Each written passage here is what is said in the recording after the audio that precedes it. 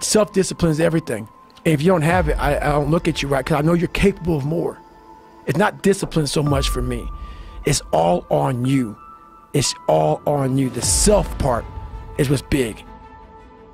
Where you're gonna fail and you're gonna be in your head, you're gonna be saying, I'm not good enough. And it's how you get through that.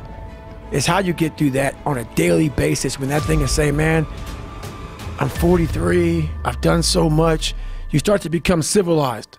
The refrigerator gets full. You start get, making money and you start, I'm not getting cold anymore. I'm retired. Once in at 40, people shouldn't be playing basketball or football or, or, or being in, you start to believe this shit. And it becomes in your fucking mind like, there's people who are retiring, you know, at 40 something years old or, 30 something years old. At 43, I'm still putting 100 mile weeks, still doing thousands of pull ups, thousands of push ups, because I'm not allowing myself to become civilized. The worst thing that can happen to a man is become civilized. You lose that fucking fight. You, you, you, you lose that. Why the fuck am I doing this shit? I'm good. You ain't good, man. You ain't never fucking arrived. And that's just my mentality. You may have more, but you never fucking arrive. You want to be uncommon amongst uncommon people. Period.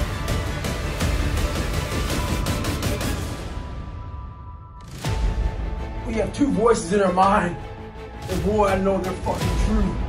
I've heard them. I hear them now. and they're real. It's that one voice. That voice I used to love to fucking hear. We love to hear. It's that soft motherfucker. That soft motherfucking voice that says sleep the fuck in. It's okay. It's that coddling voice. You want to be hugged and nurtured and all that shit that says it's going to be okay. Well, there's another motherfucking voice that wakes you up in the middle of the night. That demon fucking voice that whispers in your fucking ear that says, get up, motherfucker. You're not fucking good enough. You gotta work fucking harder. You haven't put enough time in It's that voice you want to run away from. It's that voice you don't want to fucking hear. But guess what? It's that voice you need to fucking listen to. Every foot strike that hits the pavement, that's how I feed myself. Motherfuckers look for inspiration. Inspiration's found in every footstep you take. Every grasp of that fucking iron bar. All that shit, all the miles we. Inspiration is found in suffering. In life, a lot of us believe that we're working much harder than we actually are. We think if we fucking got up early for four days, we've earned something. Gotta drop your entitled mindset. It's dead weight. We believe we work harder than we actually have. Trust me, most of us haven't. The one thing in life you gotta realize is this. Learn to help yourself. Don't count on other people to help you. We're all being tested in life. And guess what? This is one test you can't cheat on. We all have our own test. Some of us are obese. Some of us are depressed. Some of us are insecure. And the only way to overcome it is for you and you alone to face it. You have to do your best work when you're the least motivated. So those days you don't want to do it, guess what you gotta do? You gotta suck it the fuck up and do it. Stay hard.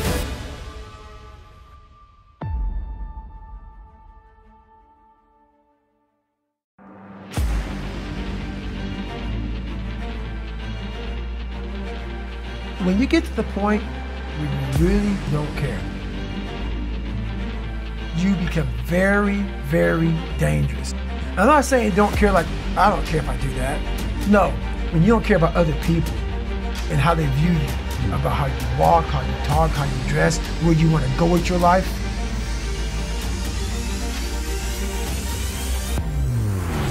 Most of us fail in life because we're afraid of what everyone around you is thinking. That's 100% true. We live by the narrative of other people. One thing about life is that people in life, they're the ultimate puppet masters. They exploit your weakness and they love to walk you around life and own space in your head. One of the biggest ways to cut those strings and walk on your own two fucking feet to your own destination in life is to build self-respect, self-esteem, self-discipline, all those things. Stay hard is not just about going to the fucking gym. Stay hard is about going that extra step when you fucking can. That's what builds self-esteem and self-respect. Stay hard.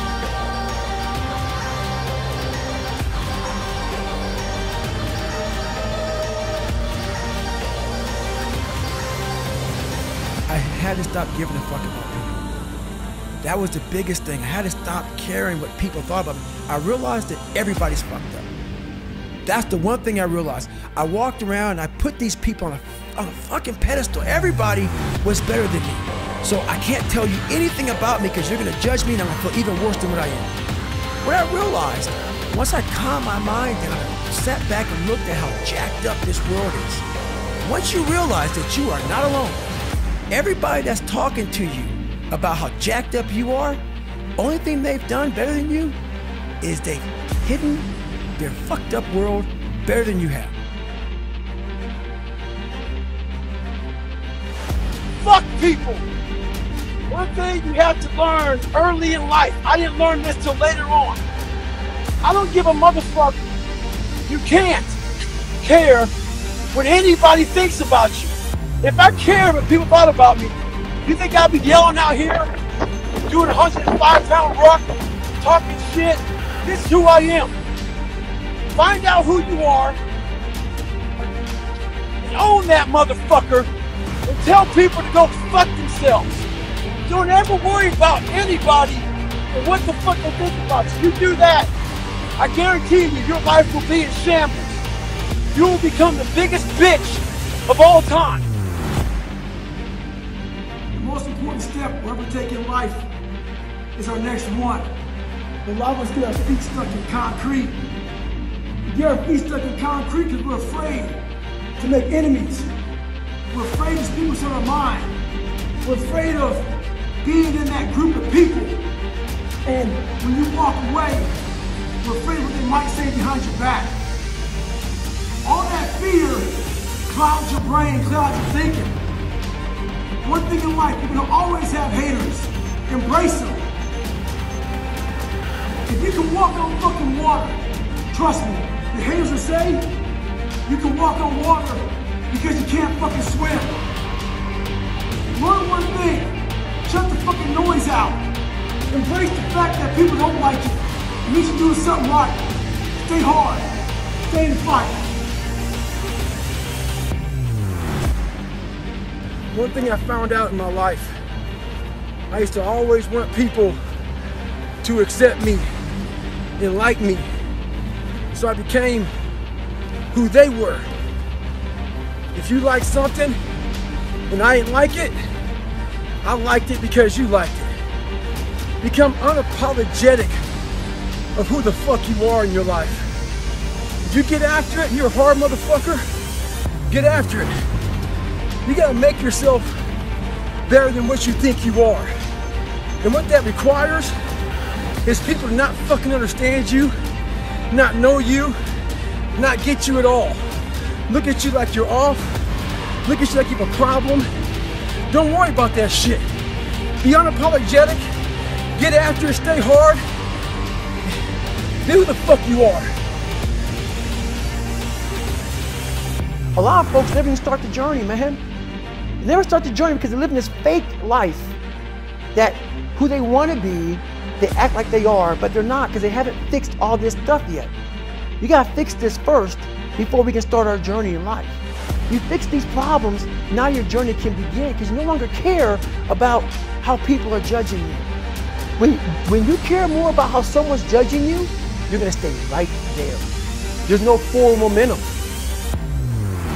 The more I get it quick, the more self-respect I gained. And the power was all mine. In life, it's important to do one thing. Many people will try to dehumanize you. It's up to you to find self-respect and dignity in yourself. You don't need a uniform to have honor. You need to have pride in yourself. So if you want to sit back and judge how jacked up I was and how messed up my life was, Merry Christmas. Go for it. Have a good time. And say, judge it, man. Judge it. Like just me talking about it makes me feel good. And that's and that's another thing about it. When you are willing to talk about how jacked up you are, the strength, that big rock that you carry, it just starts to come off. I'm tired of being afraid. I'm tired of not telling you shit. I'm tired of lying about how good I'm not. Anytime you move from being normal to trying to be exceptional, people aren't gonna like that shit. Those normal people, it makes them feel like shit, so they're gonna judge you. And nowadays, it's very easy to be a fucking coward. Why? We got Instagram and shit. Most folks don't tell you to your face. They go online. They post about like cowards. Don't let cowards get in your fucking head. And last thing, make sure you do you. Stay hard. Bitch, you don't fucking know me. You see a one minute fucking video about me. You know how hard I train, how I live, the fucking dedication I put into my fucking life. So why do you troll? Maybe you're some fat motherfucker at home, lazy, with no discipline or dedication. Maybe you're jealous. Who knows? With success in life comes more haters. Don't make them hurt your feelings. Use them for fuel. Use them for energy. In times of need, put them on the fucking mental Rolodex in your mind. And when you don't want to do shit, roll through your brain. Pull up that motherfucker that you need. That person who said you couldn't do something. Weren't fast enough, good enough, smart enough, whatever the fuck it may be. Use it for energy. Instead of killing them with kindness, torture them with fucking success.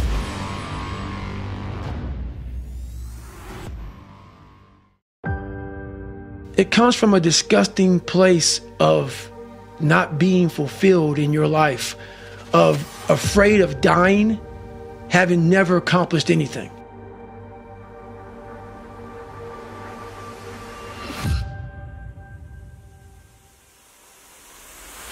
When you have a real fear of dying and being just another person, that I live to pay the bills, I made a thousand dollars a month. This is my life. I spray for cockroaches, man. If if that makes you feel good, that's great. It didn't make me feel good. I wanted to the first time in my life, after 26 years, it was 24, 25, wherever I was, I wanted to feel good about myself.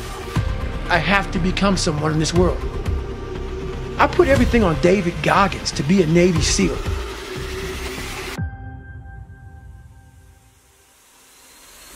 I put my whole life, a guy that was steer the fucking water, a guy that could fucking taught himself how to read and write, on being one of the hardest motherfuckers on the planet. Think about that shit. A guy that came from nothing. I put my whole life, and I'm gonna go out here and put everything on David fucking Goggins to be a Navy SEAL. Not to go be a fucking, you know, Boy Scout or some shit, a Navy SEAL. And I and I, I, I look at that and I did all this shit just to get the opportunity to succeed.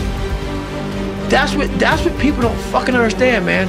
If people see the, the, the end result. I remember that guy saying, my God, man, I can't believe what the fuck I've just done. I put everything, ruin relationships, ruin this, ruin that, put everything on. In fact, I have to become someone in this world or I'm no good for anybody. I saw myself walking across the fucking stage at 191 fucking pounds. That's what I had to get to, to, to get into the door. I saw myself six months, a year later, whatever's gonna take me to do it. I saw myself walking across that stage, getting that fucking certificate of graduation from BUD/S. And I was able to be there at 300 fucking pounds. And that feeling that I was nowhere near that fucking feeling. I was able to put myself there a million times every fucking day. And that feeling of like, my God, that is gonna feel fucking amazing. That's what made me suffer.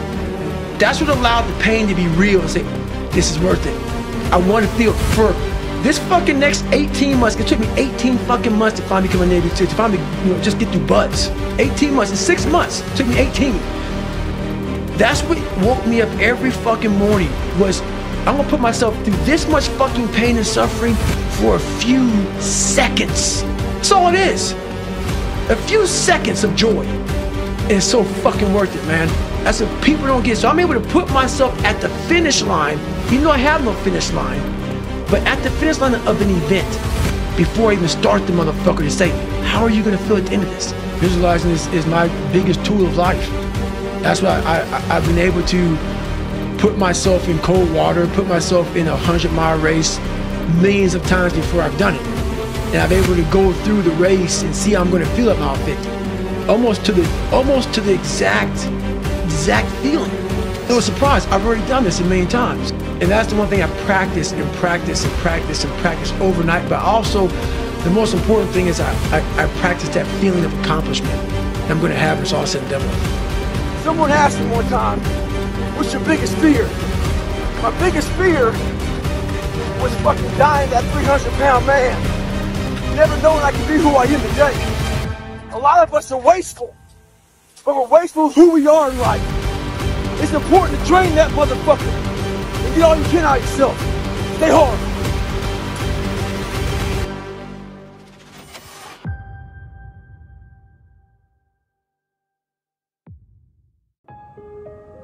mediocrity is everywhere right now. And we're all trying to find an easy way out. And we're judging ourselves. We surround ourselves around people that make us feel great. They tell us what we want to hear. The second we put ourselves amongst the uncommon people, we don't like that feeling. We don't want that person who's constantly challenging our weaknesses. We want that person who's constantly, you know, making us feel nice and good and secure in ours. That's the mediocrity of life. We want to be the best amongst the average people. You're mediocre now, man. What are you fucking doing today, tomorrow, the next fucking day? The mind's a medieval motherfucker. It's constantly fighting against you. It's the only thing in the history of the fucking world that shows up on time every time. It has a tactical advantage over you. It knows your fears. It knows your insecurities. It knows everything about you. It might be the only thing in that world that knows all about you. You gotta know about it. It's gonna show up when you don't want to show up. It's gonna show up at the worst time possible when you want to be successful. It's gonna say, take the easy road. Take the easy way out. You gotta learn your brain like your brain has learned you.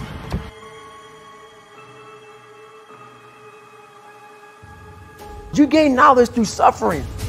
And on the other end of suffering is a world that very few, very few have ever seen. It's a beautiful world because that's where you find yourself. You don't find yourself in over here. You find yourself on the other end. The permanent result comes from you fucking, I say it all the time, you have to suffer. You have to make that a tattoo on your fucking brain so when that hard time comes again, you don't forget it. We often forget how hard we are, but you gotta reflect back. Take a couple seconds, reflect. I've, I've been through this, I've been through that. And then remind yourself, I'm a bad motherfucker. And then you can get through that shit. But if you don't believe it, you haven't endured shit, you're just blowing smoke, man. I'm constantly callousing over my victim's mentality that I once had growing up. Every day you have to do this shit. Because why? When you stop doing it, you don't just maintain it.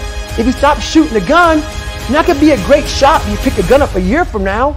The only way to keep from getting rusty is to constantly oil that motherfucking machine. The machine exists. You got to keep challenging every day.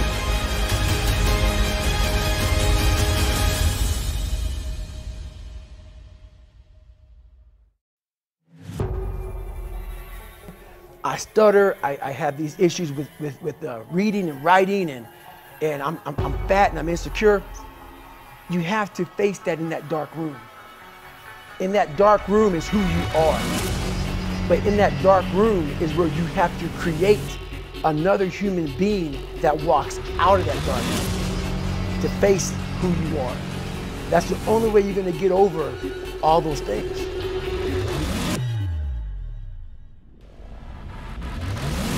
You have to create someone else. Not like you have two different personalities. It is you. But you have to find strength. And that visualization of almost me like almost like that Superman cape, like, like, like I'm coming out a different person, a person that doesn't give a fuck about anything. Who doesn't care about being judged, who knows I'm weak, who knows I'm afraid, who says, whatever you think about me, take it, whatever, I'm here. In the dark room, you face yourself, you realize you want to be better, you realize you don't want to be this weak, insecure person in the world who has all these problems that we all have. We all have. Social media is a great platform to tell you who we want to be, not who we are. Look at yourself, man. Look at yourself. What am I going to do today to change what I see in this mirror? If you're not real and raw with who the fuck you are, nothing's to change. You face it every day. You face it every single day of your life. Where you say, okay, like if you're fat and you lose weight, it's patience. It's patience in this fact of accepting who you are right now. I'm fat. I don't like myself. You have to live in your own fucking world. You cannot judge yourself. That's why social media and all these things are horrible. You can't judge yourself off of the so-called competition that we have made up in our mind the things that how people look, how people act, how smart someone is. This is a race that you run completely alone. When you really sit back at your life and you are in that dark room and you're looking at where you started from and you tell yourself, how you gonna feel, man, when you accomplish this goal coming from that shit? Coming from the fucking hell you came from. A lot of you are trying to find inspiration and motivation with a depressed mindset. You're depressed because you're not doing shit with yourself. You don't find inspiration by not living in the grip of life. You need to live in the grip of life to find inspiration. Put challenges in front of yourself. When you put a challenge in front of yourself and you attack it, that's when you find inspiration. The more you walk away from accountability, the weaker you become. One thing about life is that people in life, they are the ultimate puppet masters. They exploit your weakness and they love to walk you around life and own space in your head. One of the biggest ways to cut those strings and walk on your own two fucking feet to your own destination in life is to build self-respect, self-esteem, self-discipline, all those things. Stay hard is not just about going to the fucking gym. Stay hard is about going that extra step when you fucking can. That's what builds self-esteem and self-respect. There's a lot of scars we have on our bodies that people can see and they tell a story. But a lot of us have scars in our brains about fucked up lives, bad childhoods, bad adulthood, whatever the fuck you're going through. Those scars in your brain we don't talk about, we hide. Scarring is proof that our past is real.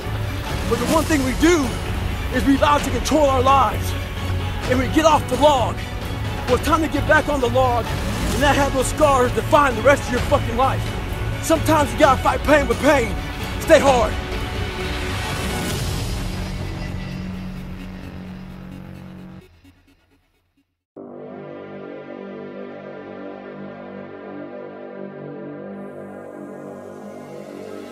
It's so easy to be great nowadays. Most people are weak. This, this is a softened generation. So if you have any mental toughness, any, any ability, if you have any fraction of self-discipline, the ability to not want to do it but still do it. It wasn't until I changed that mentality that I became somebody. That's life, man. But if you can get through to doing things that you hate to do, on the other side is greatness. To say I.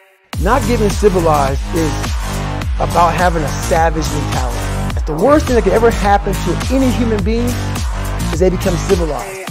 It's that total accountability. Like even when you retire, there's a motherfucker looking at me and judging me right now, man. I'm I was the baddest person to ever live. It doesn't go away, man. You gotta wake up, even though you retired, you never retired. You're setting the example every single day of your life. And being civilized feels so good. I'm sorry, man. Once you get to the top, You may retire, but you ain't never coming back home, man, because now you're judged. People see you falling off. You want to be that guy who knows I may be retired from the sport or wherever I did, but I'll be damned if you ever see me looking like shit, feeling like shit, not arriving. You're always setting the example. Civilization feels so good.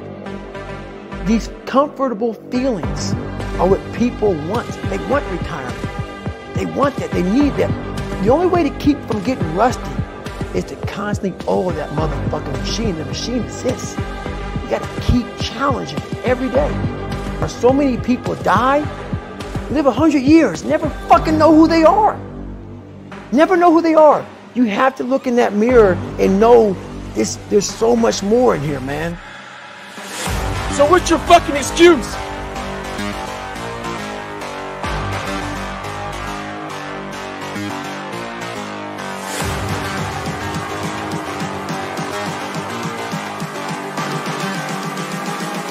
I'm just calling to say I Maybe that shit's in your fucking head.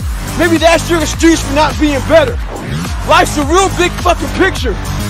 When I was young, all those things got my head. Black, fucking not smart enough, single mom, all that bullshit owns space in my head. If you're allowing people and things and situations to own space in your fucking head, you're losing. Last thing, life's one big fucking head game. You play with yourself. If you lose, it's because you allow life to get in your fucking head. Stay hard.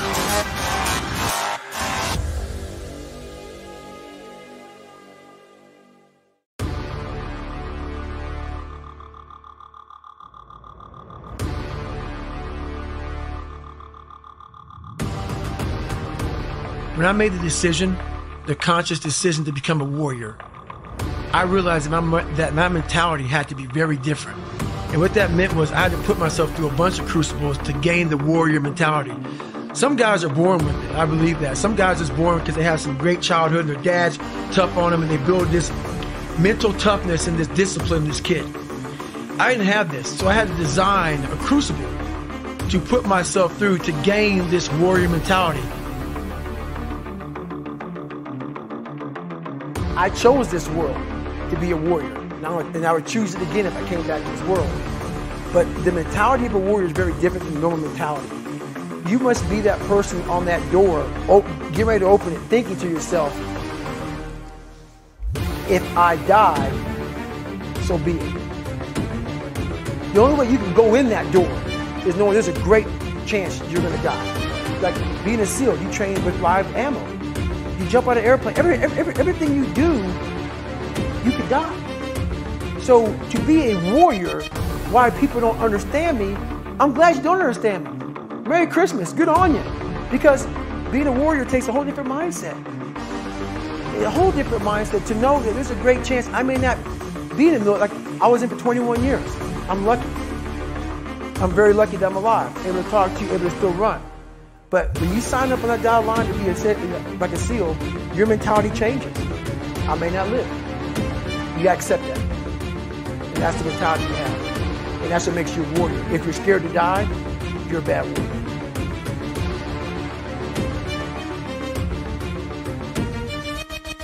I wasn't born this motherfucker. I made him.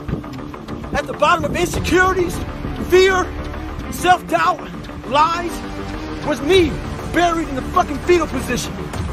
How I got out of that was recognizing it, being honest with it, being truthful with it, and then fixing it. warriors, real warriors. And I want to say that is a whole different mentality. So I've worked with people who have the courage to jump on grenades and kill themselves to save everybody around them. That's the kind of mentality it takes to be a SEAL. Does every Navy SEAL have it? No. But that's what SEALs are. That's what we try to. That's why Navy SEAL training BUD/S is so hard we're trying to find that person who's willing to go the distance. And the distance is your life. So when I'm talking to people right now, maybe what I say to you does not resonate because why you're not willing to give your life for something. Every SEAL, at least most, I can't speak for everyone, most of us are. A lot of people who go fight for this country, a lot of them are not willing to do that. Am I talking bad about them? No, don't take it and twist my words. People like to twist words. I thank you for your sacrifice. I thank you for that. A lot of people are scared. Navy SEALs are scared also. But a lot of us have a way to realize what we have decided to do with our lives. And it takes a great sacrifice, and that sacrifice could be your life. And that you have to be able to do that to become a warrior. If you go into combat scared, you can be scared, but you can't be so scared it makes you afraid to fight. That makes sense. We're able to control that, and a lot of us are able to put ourselves in hell and become the devil.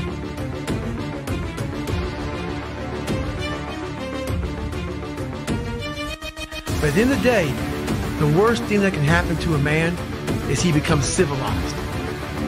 Once you become so civilized that you have everything you want, that warrior mentality that I'm so proud of, that I had to, it wasn't, I, I wasn't born with it.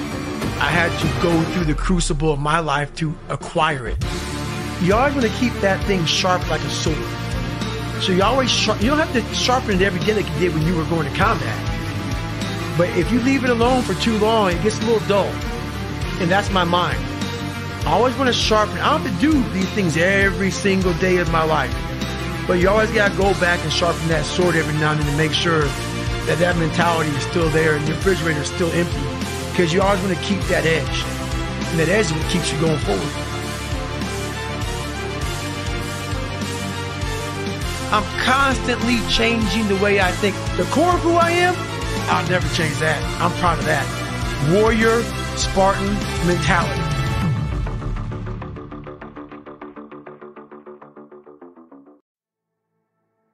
A lot of us are going through a hard time in life. Some people have been bullied. Some people are just stressed out. Some people are insecure. Some people are fat and overweight. And the world puts a lot of in your mind. It's not just you. Yeah, you help it. And my whole thing is about I had to develop a mindset a mindset that was indestructible. I had to armor plate my mind. The mind has the tactical advantage over you at all times. At all times of your life, the mind has a tactical advantage over you. Why is that? It knows what you're afraid of. It knows your insecurities. It knows your deep, dark lies. And it starts to push you away from that shit. It pushes you in a direction that is comfortable. The mind controls everything. It starts telling you all these things. You start to believe it because the mind controls all. This is the time where you have to gain control back of your mind. You have to first be uncomfortable with how you feel about yourself. With that voice that a lot of us like to run away from, we all have it. Life made you this way. We can't live like this. We can't live in fear. We can't live in judgment. We can't be afraid of what the fuck people right now are looking at me saying about me. I worked myself so hard that I turned a person this fucked up into this motherfucker right here. Not off of reading a fucking book off a theorist, off of going to work on myself and saying, I don't know how to do this, but I know that to get over there to that fucking side, I gotta grind myself into a fucking fine powder. And I did it. The most important conversation you will ever have in your fucking life is the one you have with yourself. You wake up with it, you walk around with it, you go to bed with it. Eventually, you're going to act on it, whether good or bad. It's about you. It is about you. It's strictly about you finding who you are. So many people die, live a hundred years, never fucking know who they are. Never know who they are. You have to look in that mirror and know there's so much more in here, man. Because I can literally right now be a 300 pound guy spraying for cockroaches still to this day. If I did not look in that mirror and say, there, there has to be more to this. This can't be it.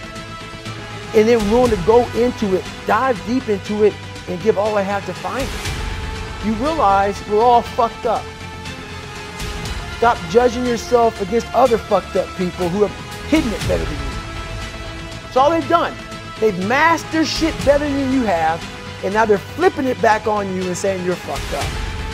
I want you to realize that this world life is one big head game. And once you learn to play the motherfucking head game, it's no longer a game anymore at all. You can start living your life.